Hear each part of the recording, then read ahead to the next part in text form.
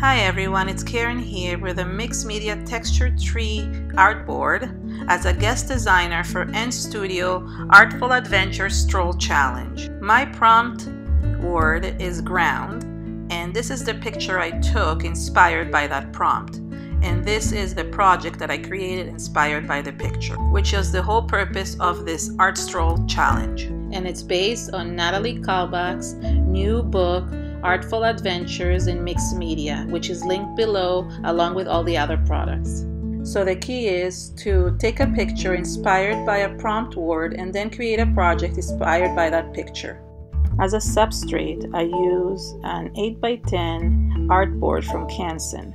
These are very thick chipboard-like boards that you can put mixed media on and they're pretty thick that they will not work when you put all the mediums on. I took the Crafters Workshop clear modeling paste, which is really thick, and I just applied it to the bottom of my artboard.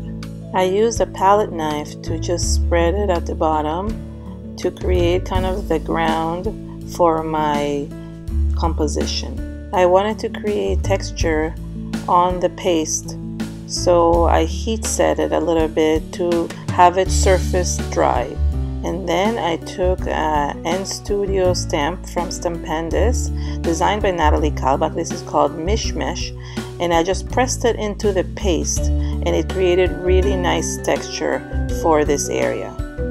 I just missed a few spots so I just went back and put a little bit more paste, heat set it and then stamped it again.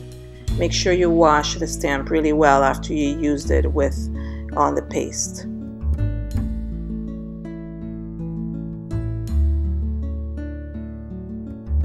I took a pencil and I quickly drew the tree with branches just to make sure I would have a rough guideline to where I wanted to have the tree.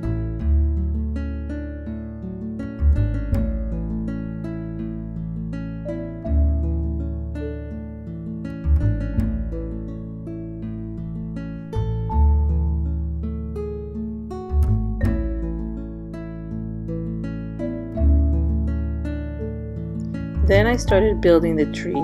I used some plaster, which I bought in a roll, and I just uh, wetted, wetted, cut it into strips, and then wetted to create the textured tree.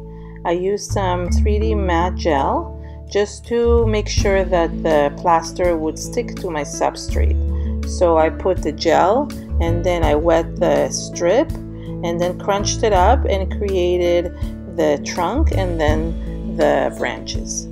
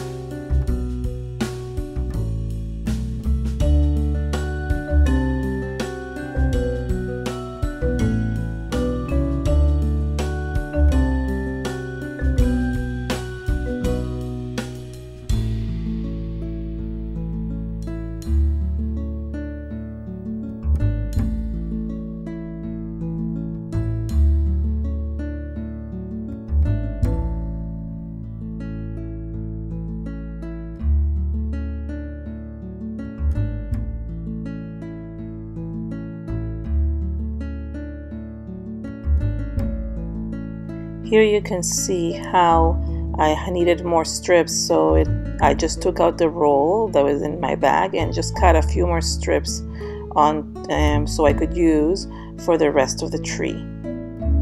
This plaster reminds me of what they used to use to make casts for people when they broke, broke their arms or legs. I think they use more advanced stuff now, but this is really cool to create, to use in art and create really 3D images and textures for each thing. And you can really work with it as it, you can maneuver it and then it dries really quickly.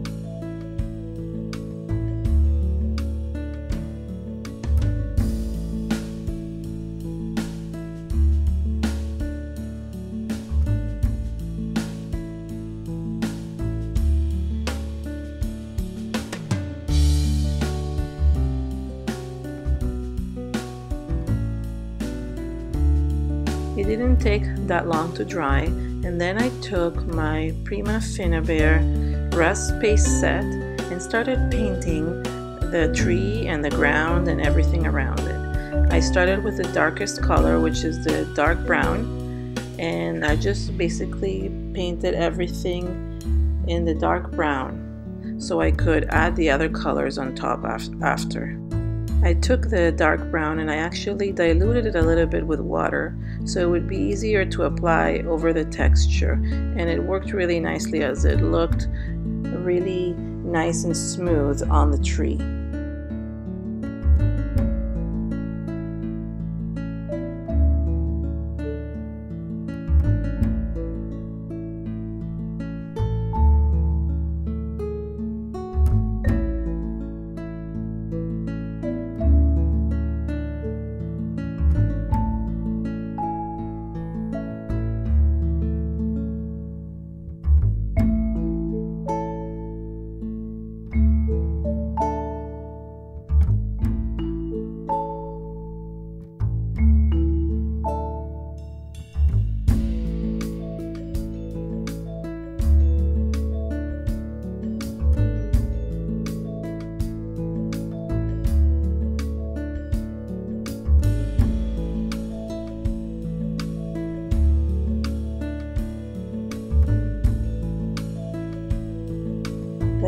Color I added was the red rust paste and here I went in with my brush but this time I didn't go and use it everywhere. After diluting it with some water I just added some highlights in some areas of the tree. I didn't want to cover the whole ground or the whole tree because I really wanted to have those deeper dark brown colors underneath and then just have the red on top.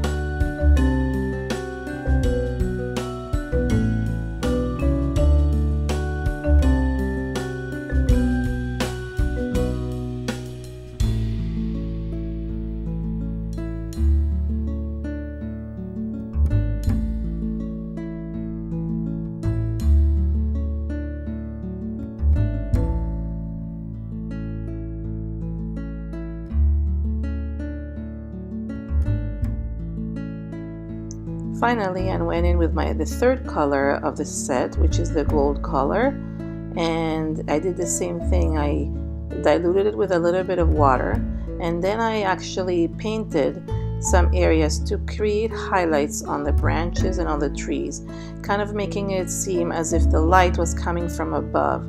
So I didn't add it everywhere, I only added it in the places as where the light was touching it in the picture.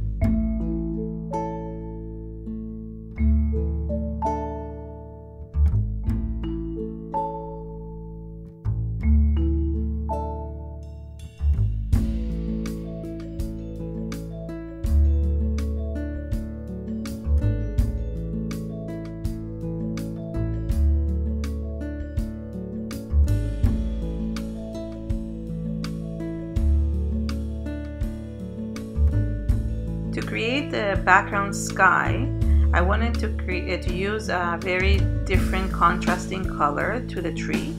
So I took some Heidi Swapp paste. This is the teal color and it's a little bit shimmery. And I took it and I basically covered the background using a palette knife.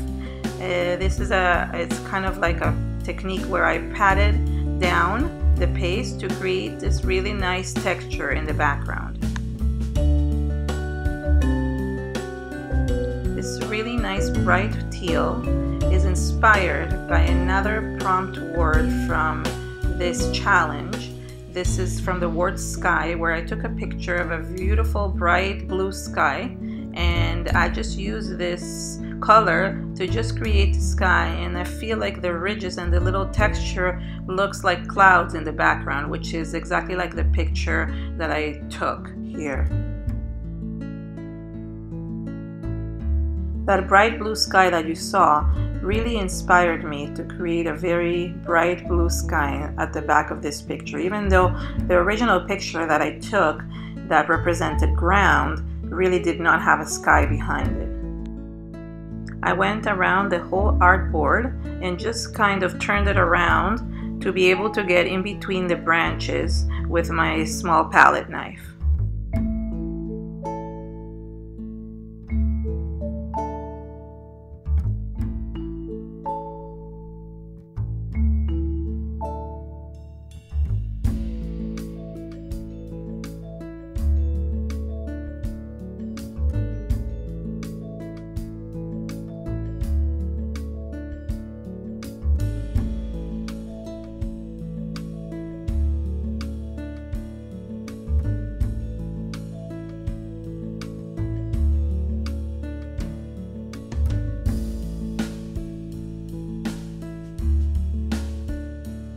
To get some of the highlights on the tree, I took some Prima Marketing Finnabair Art Alchemy wax in the vintage silk color and started adding some of it with my finger on the tree just to highlight the different textures and bring some light to the tree. One of the things that I like doing when I use these waxes is actually using my finger to apply them because I find I have the most control and I can put them in small places and add them exactly where I want them.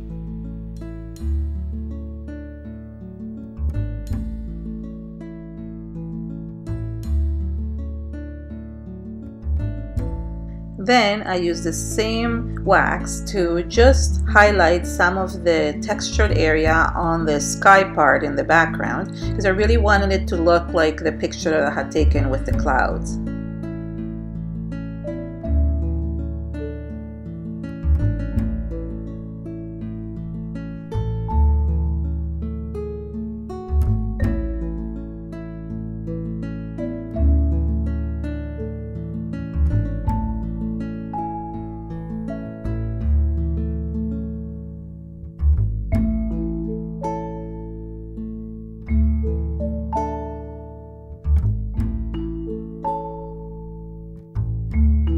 I still felt like the tree needed a little bit more highlights. This time I took the gold, vintage gold color from the waxes and I just added a few more highlights with the gold.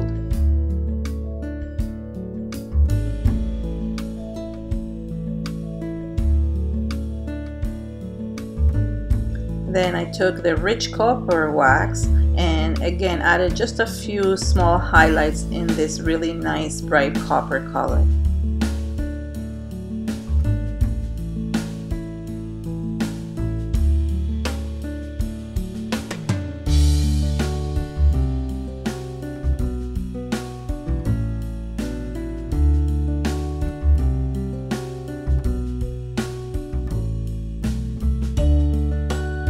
Finally, I took the vintage gold back and created a border around the artboard by blending in the edges.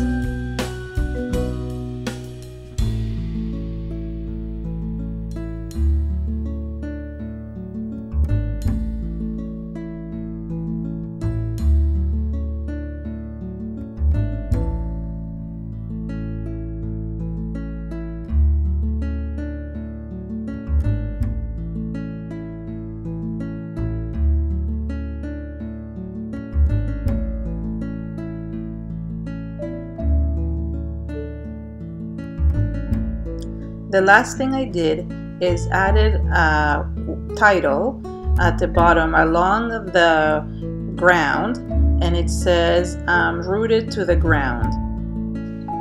I stuck the stickers before and then I took some soft matte gel medium from Prima and just sealed it to the background. So not only did the tree and the roots were inspired by the word ground, which was my prompt for this challenge, but also what I wrote the actual words really felt like they connected everything together.